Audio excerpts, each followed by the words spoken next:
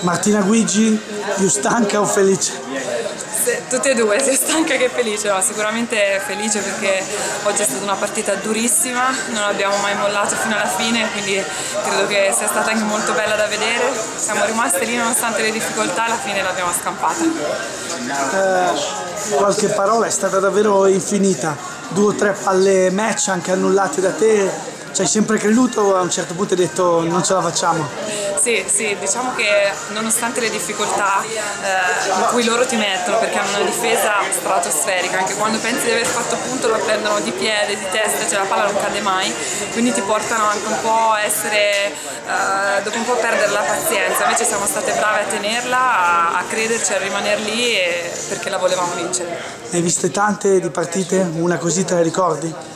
Beh, diciamo che col Giappone storicamente spesso è così, con le squadre asiatiche cioè, ti fanno penare l'inferno in difesa, però così lunga e tirata punto su punto veramente da un po' di tempo.